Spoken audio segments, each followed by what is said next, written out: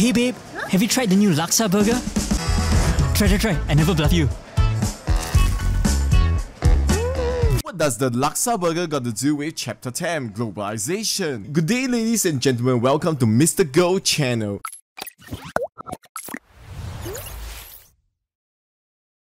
Today we're going to explore chapter 10. How do we respond to tension arising from some cultural impacts of globalization? And this is issue 3 being part of globalized world. Let's take a look at this burger. Very delicious laksa burger. What does it have to do with the cultural impacts of globalization? Stay tuned to the video. Issue 3 we are focusing on chapter 10, where we talk about how to respond to tension arising from some cultural impacts of globalization. For that, we will explore the first theme where we talk about cultural homogenization and hybridization. And later, we will move on to entertainment section. We talk about American influence and Korean influence before moving to our favorite section, which is on food. Let's take a look at the context. Globalization allows economic exchange in a global economy, and this leads to increased access and consumption of goods and services. You'll be allowed to eat food perhaps not from your country, and that allow the facilitation of the exchange of culture in areas such as entertainment and food. So cultural exchange can result in promotion of diversity and also allows for homogenization of culture where culture becomes similar or they can become the opposite, more diverse. So, what is cultural homogenization? We got to look at the word homogeneous. It's a process where local culture are exchanged with foreign cultures, not from your country, to become more and more similar in an aspect with foreign culture. And there are some fears that they will become the same as foreign culture. That means they will lose their local culture.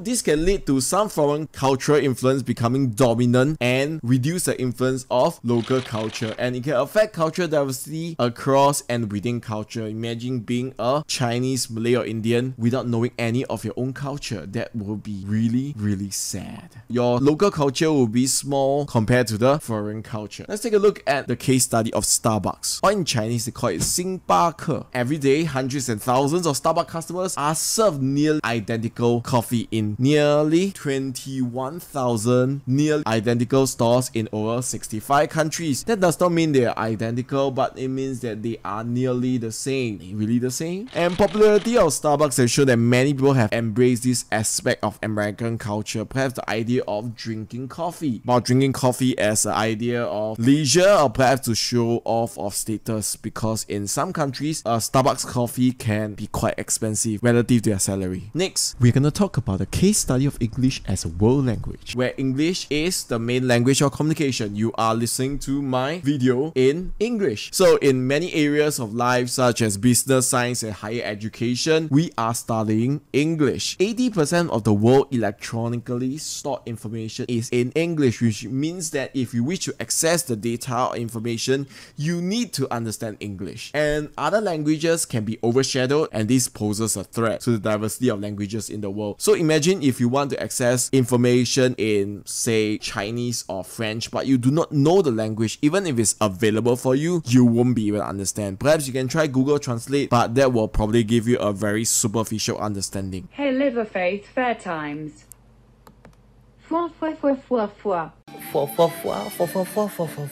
Other languages might subsequently be consumed. English as a language of the world. Let's watch a TED talk and see how it has influenced the world. The world has a new mania, a mania for learning English. Listen as Chinese students practice their English by screaming it. Change my life. I don't want to let my parents down. I don't ever want to let my country down. Most importantly, I don't want to let myself down. How many people are trying to learn English worldwide? Two billion of them. in Latin America, in India, in Southeast Asia, and most of all, in China. If you're a Chinese student, you start learning English in the third grade by law. That's why this year, China will become the world's largest English speaking country. Why English? In a single word, opportunity. Opportunity for a better life, a job, to be able to pay for school or put better food on the table.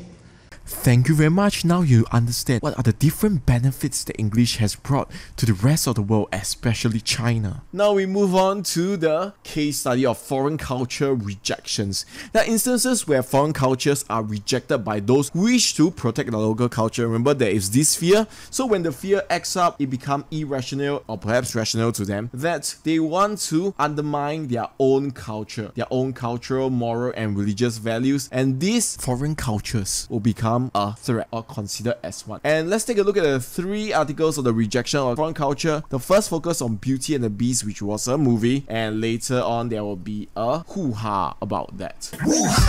And later we talk about Avatar, and last but not least, we have Lady Gaga concert being cancelled in Indonesia. So for these three articles, you can browse them below. This will help you shore up your content knowledge in preparation for SRQ. You can actually use these articles as your examples or evidence. And it is important to consider these questions. What are the reasons for rejection so you can use it in your writing as a point for these foreign cultures? And what do you think are the sum of the impacts as a result of this rejection? What will happen to the culture or perhaps the way they conduct their business? Because we are talking about entertainment industry. Next, we explore the idea of cultural hybridization. So instead of homogenization, we have hybridization coming from the word hybrid. And if you have guessed it, this happens when foreign and local cultures are blended, resulting in unique combination containing elements from both cultures. So instead of one being subsumed under the other or being dominated by one, you have one that have features from both local and foreign cultures. Remember our laksa burger? Laksa come from a dish which is laksa which is well known for its spiciness and burger which is perhaps a trait of western culture. So you have the eastern culture and western culture mixed together we have localization or in another words cultural hybridization. One key trait of cultural hybridization is to produce new products which may or may not include all the elements but they'll feature something like for example the Maharaja Mac which we all know probably would show its height as well as relevance in India. So in India, the dominant religion is Hinduism and they do not eat beef. So probably their burger will not contain beef, but they want it to be tall. So they might contain other meats such as chicken. And this can lead to changes to the nature of local cultures. Some might call it an evolution, some might call it a deterioration. So let's take a look at a case study of different genres of music such as salsa. So salsa actually is a Latin American music music. It origins in New York uh, and it's a mixture of foreign Afro-Caribbean musical influence and the North American jazz and rock. Let's take a listen.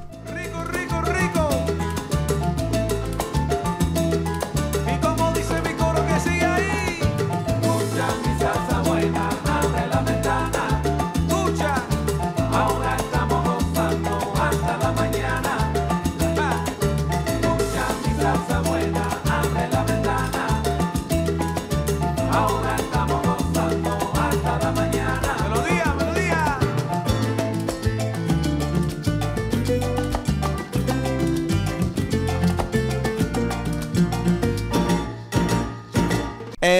There are also other genres such as rock and roll, where we talk about blues, jazz, and country being mixed together. Rhythm and blues, R&B, where we talk about blue, jazz, gospel, soul, and funk. And last but not least, we have blue rock, where we have blues plus rock and roll. So that is like a hybrid of a hybrid. And guess what song is this?